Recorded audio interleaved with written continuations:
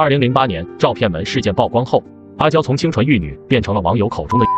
事件发生后，陈冠希连夜公开向大众道歉，并宣布退出娱乐圈。后来结婚生子，岁月静好。而张柏芝还有丈夫谢霆锋支持，共同度过了难关。阿娇却无处可逃。事实上，她也没有逃，反而是事件爆发后第一个站出来开记者会回应的艺人。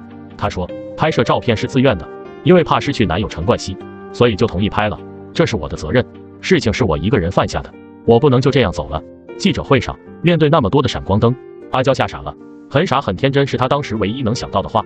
确实，阿娇很傻很天真，她傻傻的以为只要拍摄了照片，陈冠希就不会离开她，也傻傻的相信了陈冠希说会好好保存照片，更天真的以为只要自己道歉，事情就会过去。却不料事情会愈演愈烈，一发不可收拾。两个多月后，TVB 搞了一次赈灾活动，阿娇和阿傻上台唱歌，结果当天晚上。电视台收到了三百多宗的投诉，很多观众都说不应该让阿娇出来。阿娇知道以后真的崩溃了，她在家里躲了差不多两个月，差不多每天都在哭。之后一年，巴萨单飞，阿娇在娱乐圈几乎销声匿迹，众人都以为她会退圈远离是非。不料仅一年后，她再次坚强地站在了舞台上，笑对流言蜚语。她说自己当初是为了家人可以过更好的生活才入行的，如果现在就放弃，就违背了初心。我有责任，我还有妈妈妹妹、公公婆婆要照顾。阿娇复出后，经常被问及关于陈冠希的事儿，她从不回避，正面作答。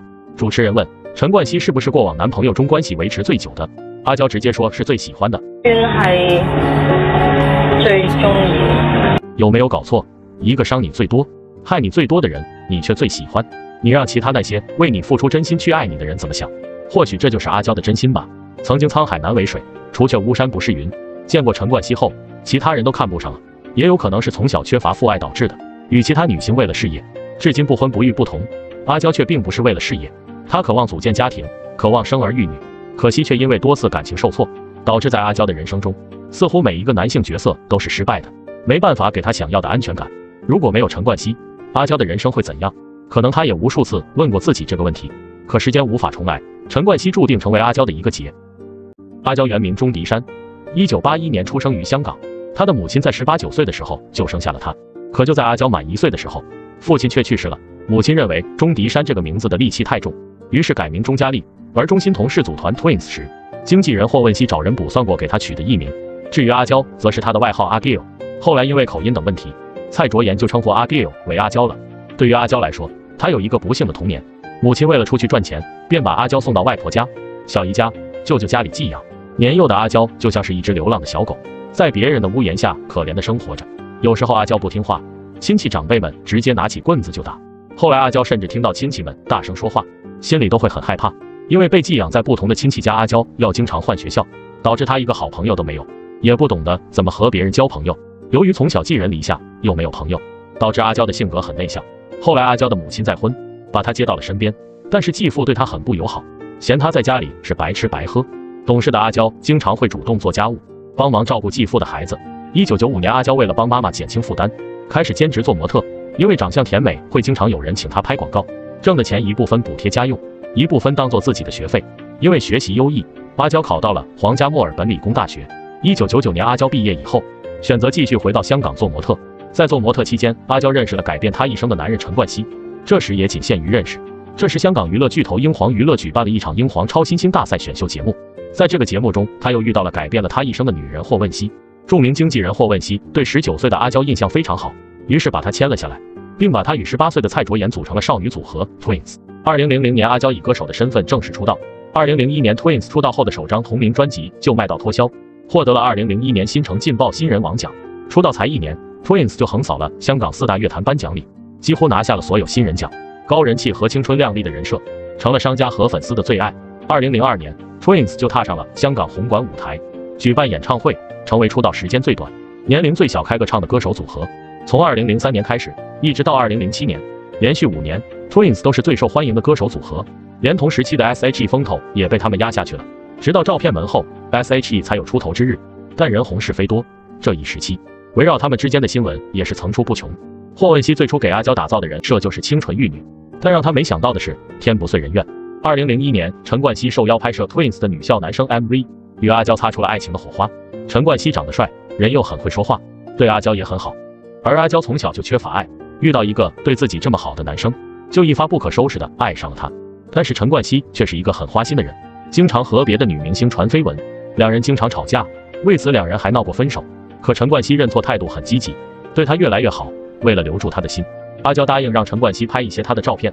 在拍照的时候，阿娇也有疑虑，担心这些照片会被人看到，反复询问陈冠希：“这些照片不会被别人看到吧？”陈冠希拍着胸口保证：“不会的，这里面还有我呢，这里面确实有别人。”但是阿娇不知道的是，这里面除了陈冠希，还有其他女明星。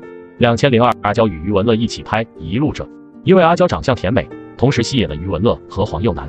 在一个剧组的余文乐对阿娇照顾有加，经常会给阿娇送小礼物，在阿娇不开心时还会给阿娇讲笑话。此时陈冠希和陈文媛的绯闻也被传得满天飞，阿娇对陈冠希失望透顶，和他提出了分手，转身和余文乐谈起了恋爱。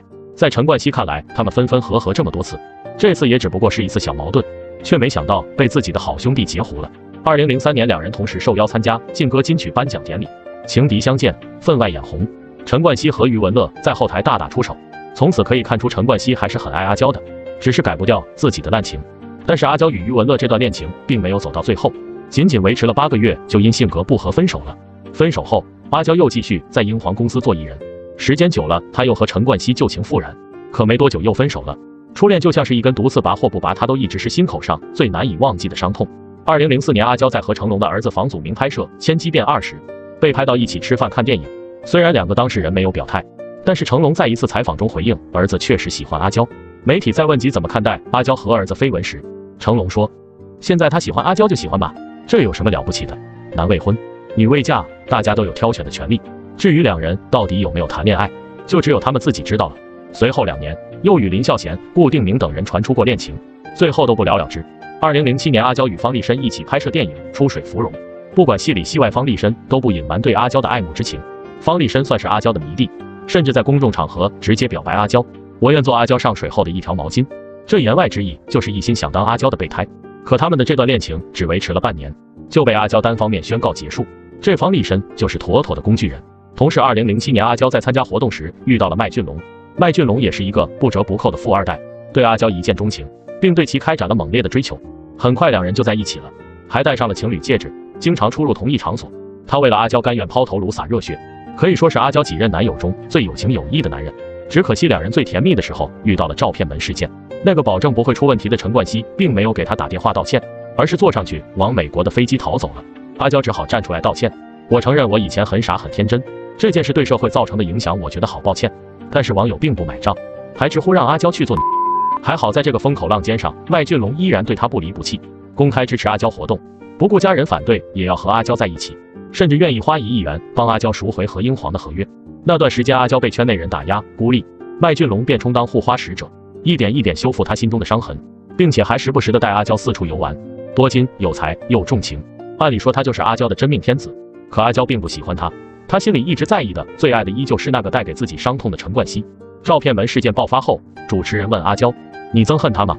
阿娇回答：没有，我不憎恨他，我伤心的只是觉得他为什么不打电话来道歉，为什么不肯向我解释这件事。主持人又问陈冠希是不是过往男朋友中关系维持最久的？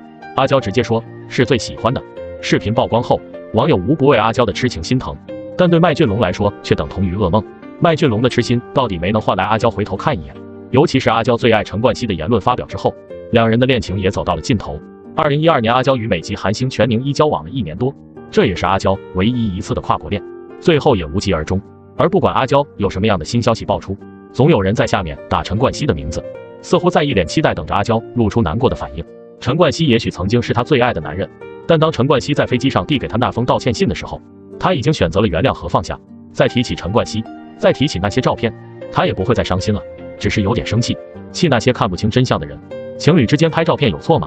错的是那些上传照片的人和偷窥了别人隐私还肆意评价的人。二零一六年，阿娇在参加《饭局的诱惑》时被问到：“如果一个男人对你说爱你，愿意娶你，向你请求一个恋爱的机会，你会被打动吗？”阿娇回答道：“未必，因为我不想谈恋爱，我只想结婚。但是还是没有人娶我。”网友们纷纷嘲笑阿娇太恨嫁。二零一七年，在朋友的介绍下，阿娇认识整容医生赖宏国，赖宏国用细心打动了阿娇。二零一八年，阿娇在社交平台晒出了结婚喜讯。很多网友都不看好这段婚姻，因为网友爬出赖宏国不仅是二婚，赖宏国前妻还爆料两人离婚是因为赖宏国婚内出轨。但是阿娇却说从来没有遇到过一个对我这么好的人。经历的种种风波，阿娇看透了爱情，更加渴望家的温暖，希望有一个坚强的臂膀能帮她扛起所有的风雨。她想当一个母亲，给自己孩子无忧无虑的童年。甚至为了备孕，阿娇胖了二十多斤。阿娇曾在节目中说过，她曾冷冻了三颗卵子，目的就是能和丈夫在两年内拥有自己的孩子。可事与愿违，赖红国始终都不着急孩子的事情，而且婚后的赖红国并不安分，他并不想这么快要孩子，甚至因为与阿娇结婚，让他的诊所的业绩增长了几倍。所以他经常在社交平台打赏穿着暴露的女网红，还被媒体爆料出轨女网红。阿娇也因为这件事和赖红国发生争吵，两人感情渐渐的出现了裂缝。最终在二零二零年二月，阿娇因不适应婚姻生活与赖红国提出分居，并单方面提出离婚。十二月，港媒在采访阿娇时问道：“与赖国红的婚姻还有没有回旋的余地？”阿娇斩钉截铁地说：“没有。”随后又回答道：“我是一个不适合结婚的人，以后也不会再结婚了。婚姻有一次就足够了。”如今经历过十几段感情的阿娇，已经不想再嫁人。或许这么段感情带给她的伤害太大了。其实阿娇一直都在和过去的自己和解，尽管在成长的道路上失去过、犯过错，但依然可以对未来充满希望。浴火重生的阿娇，现在活得更潇洒了。各位朋友，你们是怎样看待阿娇的呢？欢迎在评论区留言。这里是世界名人榜，关注我，下期为您送上更多精彩的名人故事。谢谢大家，再见。